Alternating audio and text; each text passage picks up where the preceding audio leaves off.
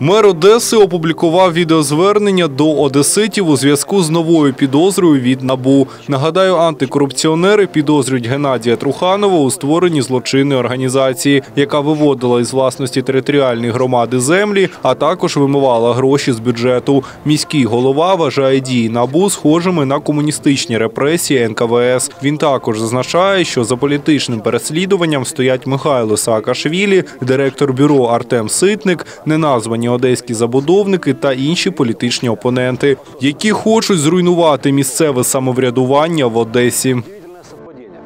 Как только эти результаты... бу- Знаете, эти люди так ничего и не поняли про наш город. Да, это столица юмора и веселья.